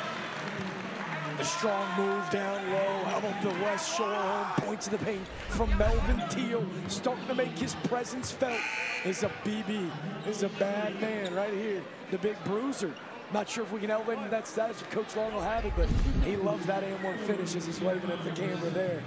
Melvin Teal heading to the Wil Lou Gray opportunity school free throw line to try to convert the and one finish. We might have to ask Coach Long that at the end of the day. You know, Teal's done pretty much everything that he needs to do to set his guys up for success. He might be might be time to upgrade to that big bruiser status. I'm telling you, Teal with nine points, already five assists as well. You're going to see that Summerville press. Melvin Teal fired up. I'm telling you, excited after a big bucket, but they show so much emotion on the defensive end, which is so rare in a high school player. Melvin Teal running the point guard four, nine, five, and four. Excuse me, nine, five, four tonight, averaging 14, six, and five, well on pace. But you said it, he's a big baller, but we're going to have to ask him. I've been shocked by the sheer size and potential of the big bruiser. Mike Jenkins long and follows up on the offensive rebound end. Nice dish to the youngster, Yazir Smith. He's unable to finish. And Jack, you mentioned the emotion, especially evident after that defensive takeaway. And I feel like that's, you can say that for most of these these plays tonight is that on the defensive end, that is when they're most excited. That is when they, they start clapping, they get into it. That is what really drives this team, the defensive efforts. You hear it all the time. Defense drives offense and, and really evident here tonight. But it's good to see defense getting the love it deserves, you know? Absolutely when you hold the second team in the state to just 30 points through three quarters, yeah, we're going to talk a lot of defense. And if you do the deep dive and you take a look at some of those stats, yeah, you know, you've got Yannick Smith averaging 19 a game. You got Melvin Teal averaging 14. Jake Chisholm has him 13. How about Shane Potts? Another big-time three from downtown. That's 11 for him tonight. And he's, he's got a pretty stroke, Jack. I hate to cut you off there, but just chef's kiss when you see that ball leave that young man's hand. He puts a, probably the perfect amount of arc on that. You see it right there, nothing but net. Beautiful, beautiful. Looking unfazed, not ready to give in. Cuts it to 23, but you're right, you're spot on. It is a really pretty jumper. You see another one from the corner, high arc, and Dante Taylor with another offensive rebound. Fight looking for some West Shore paint, points in the paint, unable to get it to fall, but you know, what they've been able to do on the defensive end is you see a really nice pass from Mike Jenkins. We talked about what they're able to do points per game. Truly stands out to have three guys averaging over three per game is the youngster, Yazir Smith, trying to get in on the front from downtown, but it's Jake Chisholm with the West Shore points, points in the paint off another offensive rebound. That's 20 for Chisholm. We haven't heard a lot from him in the second half. Ooh, love the pass in there from Goose Creek so selfless, but. And this is why Summerville is so dangerous. They move the ball so well, able to, to rebound there, and, and that's something you don't want to see if you're Goose Creek. They were starting to gain some momentum there, but you can't give up those second and third chance opportunities. See Melvin Teal. It's a hockey line change for Summerville as they check in with their second squad. We're going to see Jaquel Brown exit the floor Is Brandon Burgess Gabriel White check back in for the Gators. Elijah Dates and Daquan Hamlet join him. But as we were talking about, is Elijah Dates, corner three, not ready to call it yet for him. That's a big three for him confidence-wise as they get ready for region play next week. But we were doing our homework. The stat that really jumped out to me as that three crashing off the side of backboard, Summerville Five guys averaging over five rebounds a game. That's truly an incredible statistic when you take a look at really college basketball landscape.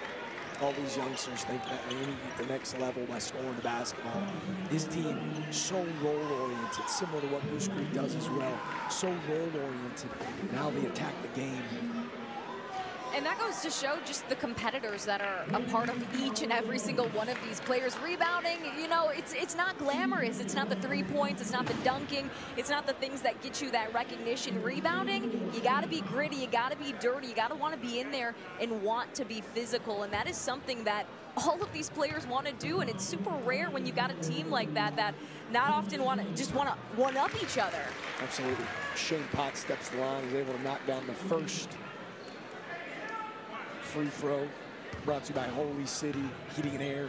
We provide solutions for every season. So he looks to knock down the second, unable to get it to fall. Daquan Amwick last the touch, will be Summerville possession, but just some of the names, Summerville Scott, rebound the basketball, Delvin Davers averaging six a game. Mike Jenkins from the point guard position averaging six a game. Don't see that often from your point guard as Shane Potts. But look, love it. Natalie referred to it earlier. See Blake Hall there. Potts hits the deck. All four Gators sprinting over to him. It's the standard set here at Goose Creek. It's understood. You're going to pick your family, your brother up after hitting the deck. And that's something, Jack, you and I were former players. It might not be a known, really, a point of emphasis for those who, who aren't familiar with the game, but we've been on the floor multiple times ourselves, I can say, over the, our careers as, as former players. But when you see your team not only walk over to you and pick you up, they run over to you. They don't want you to be on that floor a second longer. They want you up, they want you ready to go, and they want you to know that they've got your back. Absolutely. And he's just saw even leaving the floor, Shane Potts, Quell Brown picking him up, handing him a towel. It's the standard set as JoJo Taylor knocks down the first of the Gets down, knocks down both, excuse me. The Holy City hitting their free throws. But again, you see, checking out the towel. It's not going to pop up on a box score, but it all is the standard set. As a steal there on the other end. How about the fast break? Brought to you by Low Country Crawl Spaces. Building relationships that last. The electric little run there. Burgess from the corner. The southpaw. How about the three from the corner from the senior? And I want to give Jaquel Brown credit there. Had the turnover. He's the one that came away with that rebound on the other end, able to push the ball up the floor. And then his team is getting three points as a result of that effort. Absolutely. As you see another corner the opportunity for the Green Wave. You know, it might be 20 points with just 4.50 to go. But this is the last game before region play for both teams. Every basket is building towards something. That three there from Brandon Burgess in the corner, brought to you by David Aylor Law Firm. Every basket means something. They're building confidence, momentum going into region play. Natalie, you know as a former player, both these teams, despite the outcome today, all their goals and aspirations now right in front of them as region play starts next week. Exactly, and these are two teams. We asked both of their coaches, hey, our state championships are is, is that front of mind for both of these teams. You don't see it too often where both of these teams top 10 right now in the state of South Carolina. But both of these coaches, they said, no, that's not our goal right now. Yes, they have aspirations, and yes, that would be awesome. But it's not what they're thinking about right now. They're thinking about truly just taking one game at a time. If you're head coach David Long over there, your goal, he said, full potential, reaching our full potential. He says, and he refers to Coach K in this regard, that if you add up all of the wins, all of the championships, it doesn't always result in you reaching your full potential and vice versa. If you're unsuccessful and you perhaps don't walk away with the state championship, you can still have a successful season if you had reached your full potential. And on the other side here, looking at Goose Creek, also not front of mind for head coach Blake Holland. This is a guy who's already won a state championship. He says that would be great. Of course, we want, would love a trophy over here at Goose Creek, but it would be great if it was a byproduct of all of the hard work, of all of the effort, of all of the, the grittiness that this team puts on the floor each and every night. So it's, it's interesting to see, Jack, that both of these head coaches very capable of making long state championship runs, long in the playoffs. Of course, we got region play starting next week, but not the first thing, not the goal, really, of this team. Absolutely. You take a, a look at what Coach Hall and what we kind of took from him and what we were able to gather from our interview, but know, what he was most proud of? An alumni game that they were able to put together before the season. Guys that had pride in this program that wanted to come back and still feel a part of what they were building towards. As you see a selfish pass, another corner three opportunity for Burgess, but an alumni game that they put on that he wasn't able to be a part of. He was out of state, but it didn't matter because the guys that came back that played in this program, they were able to put it on, impart wisdom on these youngsters that are in this program now. That's what he's proud of. That's what he's building towards. Developing young men. And uh, as you see Yazir Smith get wrapped up in that jump ball, I don't know if that's a guy I'd like to fight over basketball with. Perhaps not. I more likely would just let him take it. 6'4", 250 sophomore. Burgess, another shot. Two for three from downtown from Brandon Burgess. That's eight on the night from the senior having one heck of a fourth quarter is number 23. And he loves that corner spot. You see some of it start to slow things down with just 4 to 10 to play. You see a foul there on number Gabriel, 42 Gabriel White, but take a look back at the replay. Burgess, they drew that one up for him. Gabriel White acting as the decoy, sets a nice screen, frees Burgess up. And then you see him right ready to go, right back on defense there. Found his guy, turned, ready to go. You know if you want to play basketball at Goose Creek High School, it's not about what happens on the offensive side. You got to be able to D it up as well, and Burgess, strong point guard, is able to do so. How about this? Gabriel White, full court presence. Might be down 17, but doesn't mean Gabriel White can't play hard. Upset with the call. Thinks it was a little back and forth as a little scuffle at half court. I love this stuff. Me too. That's the best part of the game. I'm telling you, despite the scoreboard, you see Elijah Bates walking out of it.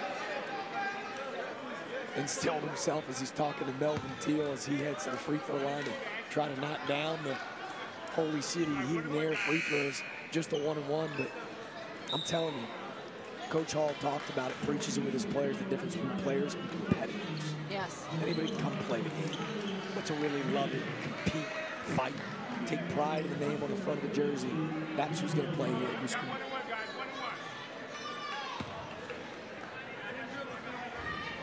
Melvin Teal approaches the line.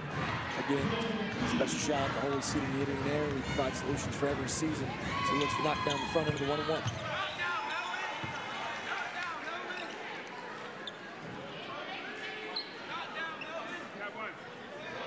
Now, is there a more dangerous backcourt? You know, have just kicking off our high school hoops games. We're going to see a lot of really special players, but it'll be tough to find a better backcourt than Melvin Teal and Yannick Smith. Yeah. You know, no words sometimes looking at this crew because they have not let up all night. And it's because of that intensity. You look at right there, you see it on Melvin Teal's face clap, and he is ready to go, you. and he's been ready all day, Jack. Good passion on the defensive end. Melvin Teal bringing it on both ends of the court. Jaquel Brown, the freshman, chasing him right in his hip. Oh. Oh, he's done it all night. He's going to throw it down, but how about the corner three from Yannick Smith? An opportunity for a four-point play heading the free throw line for the Holy City hitting there. When's the last time you saw a four-point play, Gavin? Wow, it's a good question, actually. Weird, It's been a that's what I'm minute, saying. actually. Watched a lot of college basketball this year, but if anyone's going to do it, of course it'd be this all-state nominee, Yannick Smith. The guy who has done each and every little thing here today. You love to see it for him. He does it again. The Holy City. He knocks down the and one. The four-point play for the All-State guard, Yannick Smith. As we're going to head to break. Just under 3.43 to play. Some of the leads, 66 to 43.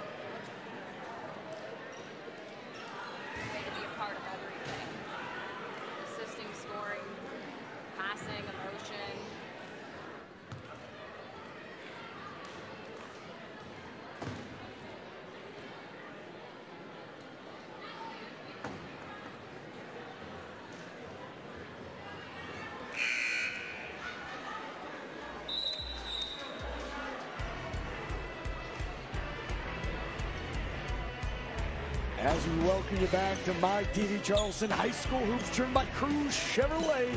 Friendly rider Crews Chevrolet on the rivers. You've got a friend in the car business. As we take a look at Coach David Long on the Summerville sideline. Natalie, he's going to be feeling pretty good at practice tomorrow. Got to be pleased with the effort that his team's given tonight. Yeah, you see him walking up and down his bench right now. He's clapping on guys. It's been a long game, a long emotional game too. I mean, scoreboard aside, his team has not let up since tip. And he's that's exactly what he want to see up. Drink your water, coach, because I'm right there with you. It's exhausting watching these guys, which is hilarious to even say, but they keep you on your toes. See Coach all over the sideline. A little upset the decision making there from Jaquel Brown, a freshman whose maturation process really starting to take fold. Love to see him just kind of go up, take the shot there instead of the last second pass, but a freshman with a super bright future.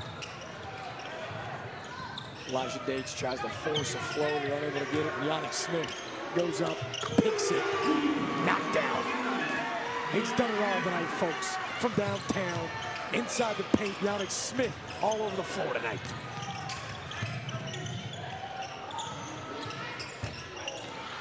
How about on the other end, though? Not ready to give up. With a big body rebound from Jaquel Brown. Fat Lady has not sung as that's a big time. West Shore. Home points in the paint. America's most admired home remodeling brand. Yeah, let's take a look at this again because Shane Potts with a beauty of a shot looks good. But right there, probably one of the smaller guys on the court, Jaquel Brown, ready for that rebound and the easy lay-in on the other side. Absolutely. I think it's been the development of the young freshman. Played travel basketball here is really taking a step up as we take a look at our next couple weeks slate. Now we got some good ones. North Charleston at Philip Simmons. Philip Simmons, a couple big time non-conference wins down the road at Lucy Beckham High School, but Fort Dorchester, West Ashley, obviously a big time 5 matchup, but at First Baptist Pinewood matchup on January 27th, a lot of stars in that one. A lot of stars in this one. Yeah, exactly. That First Baptist team it'll be interesting. They've got a lot of great talent. I know Matty Four comes to mind. He's top of mind for all of the First Baptist followers and the faithful that watch that team, but it'll be good. We're just getting started, Jack. Absolutely. Over the build. How about the, up there? Fast break brought to you by Low Country Crawl Spaces. Big time finish our 13 Lavarius Major. Strong finish. 69-47, Summerville with just 2.30 to play.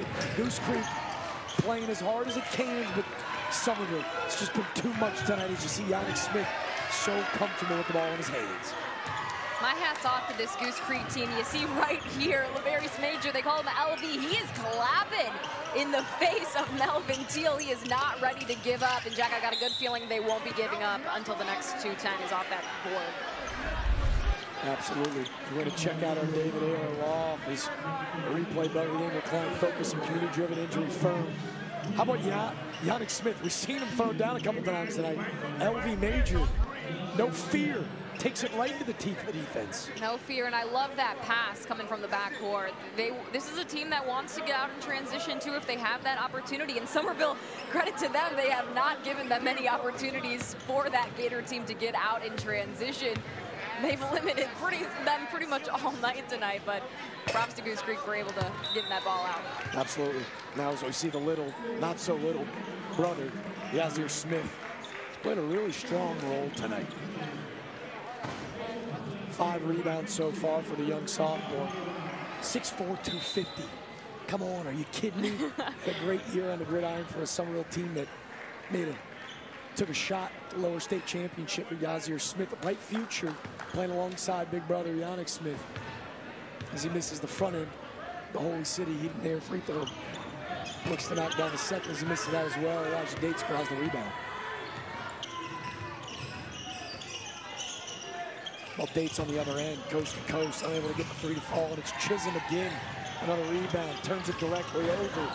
Dates in the corner. It's been a lot of pots in the second half. Can he get one to fall? Nope. How about one more firework? What you got, Natalie? Ooh. A clean swipe of the ball from Shane Potts on the other end. Yannick Smith. Oh, goodness. Jeez. These officials really letting them play. so much to gather there. Yannick Smith on the other end, but how about the resiliency from Shane Potts to steal it on the other end? Gabe White went for a poster dunk there, huh, Natalie? I think so too. Yeah, this one turned into a little bit of a trap meet right there, but both teams looking to slow them down. Everyone on the bench, they're up, they're congratulating and cheering on their guys. No one's giving up here tonight, Jack. No, not at all. It's not neither DNA. See Shane Potts checking back in. You see the Summerville trio checking out for probably the final time tonight with just a minute 39 to play. Wow, were they special to watch as Brandon Burgess on the re inbound in. Potts from the corner. He's got another one, folks. How about 14 from Shane Potts, the sophomore? Now they called it. Pretty arching three-point shot, hits it again. Yeah, he is not afraid to let it fly, and for good reason. It's a good shot. Nine times out of 10, it's going in. You know, as we look at this game as it's wrapping up with just a minute to play, we talked to Coach Hall about it. You know, a young guard, Jaquel Brown, the ability to learn from Elijah Gates. Shane Potts, young sophomore, the ability to learn from a guy named Justin Britt, the senior, who's been on this Goose Creek varsity team for four years, has started almost every game since his freshman year. Justin Britt, a meniscus surgery injury early on in the year, was actually cleared by doctors today. We're sending a lot of good vibes to that young man, and he's able to make an appearance in his senior year for Goose Creek at some point in the near future. I'm sure he's going to make an impact right away. And like you said, Jack, our hat's off to that young man because he's meant so much to them over these last few years over on Goose Creek. And you know, good things are coming. Absolutely. He's almost served as another coach on the bench for Coach Hall, a leader that's been able to teach and impart a lot of wisdom for these young studs. He'll bring an immediate impact once he's implemented in that lineup. Yeah, you're right. And it's one of those things that Coach Hall said was kind of a blessing in disguise. You get to see the game from a whole other perspective when you're forced to sit on the bench. Yes, he said he is chopping at the bit to get back out there and, and help his team and play amongst, amongst them. But sometimes that's great for a player. You develop from the sidelines, and that's often especially if you're Justin Britt, it's a place you don't sit on very Absolutely. often because you're on the court, of course. But it's a good perspective that you, you gain. Absolutely. It's a six-foot guard, aspirations who will surely play at the collegiate level as learning a part of the game as we see JoJo Taylor heading to the free throw line as he misses the front end of the Holy City Heating and Air free throw line. We provide solutions for every season at Holy City Heating and Air. But as we wrap this one up, we take a look at Coach Long. Natalie, how impressed were you by this Green Wave team really on both sides of the ball tonight? Oh my gosh, just really from the jump, Jack. You knew what they were going to give us tonight, but I don't think we expected the level of it and, and really from start to finish. You, you can find one moment in this team, at least for me rather, that this team looked like they were foot, taking their foot off the gas. Absolutely, as we're going to see we're just under 10 to play, the young eighth grader trapped in the corner. There he is again, Cato Miller turning it over. Elijah Gates again. You're not going to see this Goose Creek team quit as we're going to see the time run out. And Summerville with a statement win in a top 10 matchup, two versus six. Coach David Long gets the best of the in-town rival Goose Creek Gators as they take a commanding win, 69 to 50. Truly incredible performance tonight out of both sidelines, but wow, we're the Green Wave, tough to handle all night long. As we're heading to break, take a couple looks at Melodionic Smith tonight. Big time 6 and 50. We're going to kick it to break before we present the David Aylor Scholar of the Game and trophy to the Summerville Green Wave.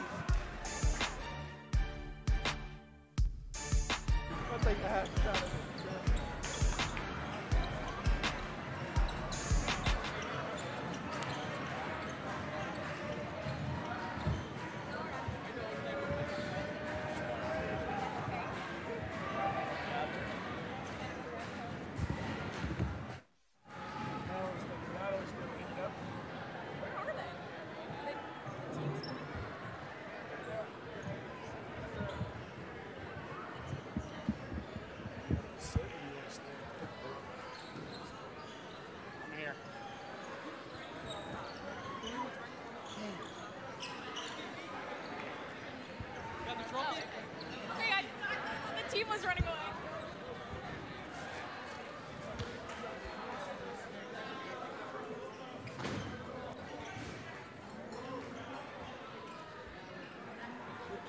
Camera two. Two. Cool. Thank you. Congrats, coach.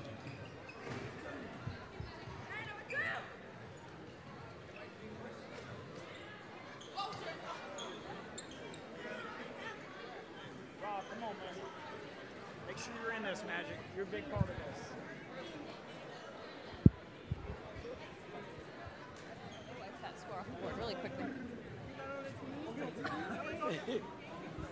TV. All right, look, act like we've been here before, even though we haven't. Let's act like we haven't. St- Oh, Jack's tossing me. I'll cue you too, just in case. If you don't hear him, I'll cue you. Okay. Oh, okay, thank you. Please do. I don't think I can hear him. Is are you tossing to me? That's what they said. Okay, I just didn't know. I'll toss it real.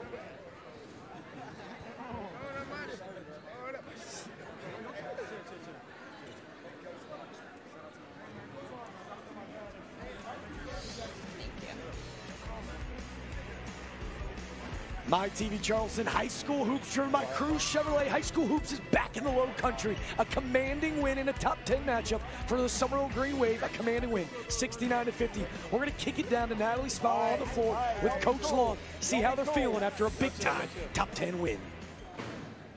Well, Coach, nearly a 20 point victory from your guys, not on your home court, here at a rival's court. What does this moment mean to you? It means a lot to me, but I'm not worried about me. I'm worried about these guys right here and what it means to them to come on the road against a great team, a well coached team, and get a big win.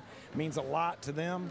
And we've had a tough stretch the last couple games, but we knew our schedule was tough, and they really responded, and everybody contributed and played a great game. Really happy for the kids. I want to go ahead and look at that second quarter. You limited Goose Creek to three points. Three points. Definitely the difference maker in this one. What can you say about your guys' defensive effort from really start to finish? In the first quarter, we didn't do what we wanted to do. We wanted to trap and press. We were a little apprehensive. We weren't going after the ball, and we really challenged them at the quarter to get into the trapping, and that's really what flipped the, flipped the script. I want to talk about our player of the game, Melvin Teal. You call him Big Baby, or you used to at least. He's upgraded to Big Bru, or I can't say that. He's upgraded to Big Baller, excuse me. I want to ask, do you think he's upgraded tonight? He's still got a little work to do to get to uh, Big Bruiser, but I'll take Big Baller any day of the week. So happy for Melvin Teal. He does so much for our team. Doesn't get quite as much recognition as some of the higher scores, but he does all the little things, plays point. He does what coaches love, and I'm really happy for him to get a, a recognition like this. And I want to make a point of say you have so many guys that you say fall under the radar, don't get the recognition they deserve, but to be so deep and be able to have so many guys come off the bench, what does that mean for your team and what this team is capable of down the stretch? Well, it means a lot. It means more people are happy. And what it means is we don't get tired in games, but we also don't get tired as the season wears on. I've been on teams where we didn't play that many people, and it can have a residual effect and wear you down late in the year. This team, I think, can stay fresh with the way we're playing right now. So, really enjoying it. Fresh and ready to go. Coach, I'm going to let you take this off my hands. Enjoy this with your team. Congrats, gentlemen. Enjoy this win. Yeah.